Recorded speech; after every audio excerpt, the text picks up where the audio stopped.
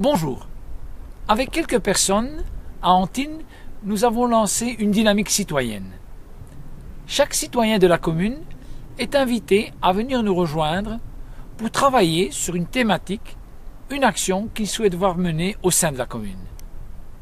Notre dynamique citoyenne de la commune est une plateforme, un outil qui permettra peut-être de réaliser vos actions, vos souhaits.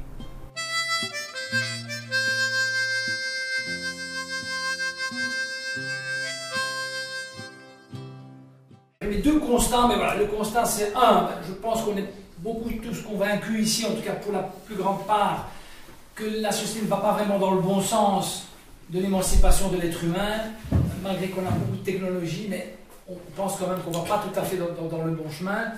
Je pense qu'une bonne majorité de personnes pourraient acter ce, ce fait-là. Et le deuxième constat, peut-être plus important, c'est que la majorité des gens ont de plus en plus de sentiments qui n'ont pas la prise sur le cours de leur vie leurs idées, leurs opinions ben, sont loin d'être relayées. On se dit, ben, de toute façon, qu'est-ce qu'on peut faire, etc. Et fort de ces deux constats et de cette impuissance de beaucoup de gens, je me suis dit, avec d'autres, avec Luc et d'autres personnes, bien entendu, il faut qu'on lance un mouvement de citoyens. Un, vrai mouvement de citoyens qui ne soit pas de la récupération politique partisane, vraiment citoyen dans le sens noble. Voilà, un, mouvement de citoyens où les gens, par la participation, la coopération, vont vraiment œuvrer pour, pour, acter et pour construire une société. Si je vais trop vite, vous me le dites. Hein, ça, c'était un peu le constat, donc création d'un mouvement citoyen. Voilà, ça c'est une chose. Alors, le troisième point, donc ici, critiquer le système, ben, c'est très facile, et je pense que ça ne mène pas à grand-chose.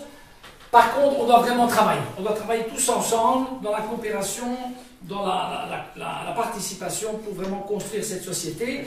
Maintenant, il y a quand même un, socle des, fondamentaux. On on peut pas agréger tout et n'importe qui. Si on me dit je veux exterminer tous les Noirs d'Afrique, on aura un problème. Donc il y a quand même des fondamentaux. Quels fondamentaux? Une vraie éthique humaine, le sens du bien commun, le respect de l'opinion de l'autre, c'est important. Je pas opinion de l'autre, et je dirais aussi des droits humains fondamentaux pour tous. Voilà, ça c'est important quand même, parce qu'on peut avoir la liberté de parole, mais si on n'a pas de quoi manger ou si on n'a pas un toit, c'est quand même un problème. Je crois qu'un être humain a droit quand même à une dignité, et ça passe par les droits humains fondamentaux, le, fait d'avoir quelque chose dans son ventre, de se nourrir, d'avoir un toit, c'est pour moi aussi important qu'une éthique et qu'une opinion. Voilà, donc ça c'est un petit peu le socle, les fondamentaux de, cette dynamique. Plus qu'un mouvement, si on se constitue en mouvement citoyen, on souhaite encore plus, on souhaite vraiment enclencher une vraie dynamique citoyenne de coopération.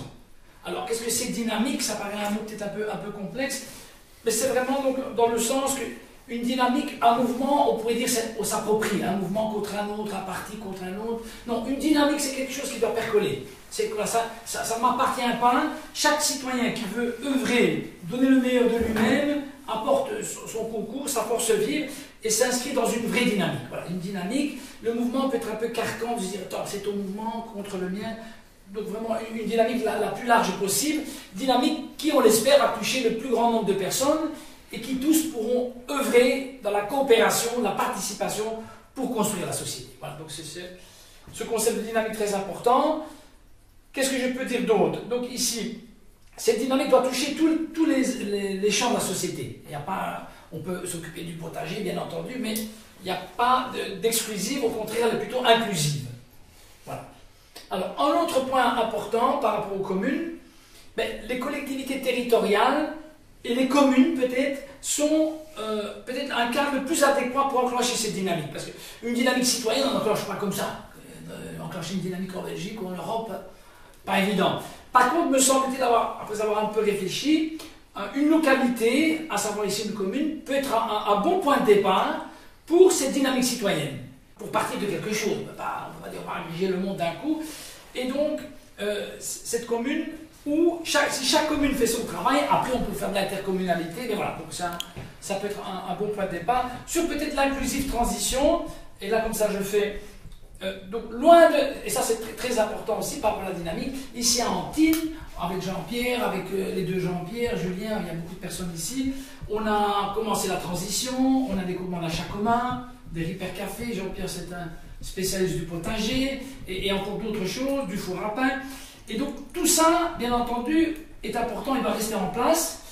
mon idée, c'est qu'un mouvement citoyen d'Antine peut avoir peut-être une colonne vertébrale, une colonne vertébrale pardon, qui peut intégrer tout cela. Parce que sinon, on fait un peu, chacun dans son petit coin, on improvise. Si on se dit on a une vraie dynamique dans une commune, on pourra, j'en parlerai dans les outils, par des groupes de travail, intégrer tous les acteurs, toutes les activités que les membres peuvent vouloir faire, bien entendu. Mais il y aura peut-être plus d'homogénéité que comme ça, on improvise, on va faire ceci, cela. Voilà, c'est un petit peu l'esprit du mot inclusif. C'est certainement pas ça contre ça. Comme j'en ai parlé, voilà, j'arrive quand même à la fin, donc ça va assez vite, tant mieux. Donc cette dynamique de, citoyenne de coopération, je vais mettre DCC, voilà. Donc, ben, pour bien émerger et bien aboutir, il faut quand même s'appuyer sur un outil, une structure. Pas, on fait une dynamique et puis ça, on, on, boit un coup et puis à la prochaine réunion. Non, il y a quand même besoin d'une vraie structuration, d'un vrai outil. Donc, on a déjà pensé pas mal d'outils et, de, mis en place. Je vous en donne quelques-uns ici, et, la liste n'est pas exhaustive, loin de là. Des groupes de travail, par exemple. Des groupes de travail, ben, on avait déjà commencé ici dans le collectif citoyen, donc avant Citoyen d'Antine, donc beaucoup de personnes ici présentes, on avait déjà travaillé ensemble dans, on l'appelait le collectif citoyen d'Antine. C'était un, peu cela finalement. Donc des groupes de travail.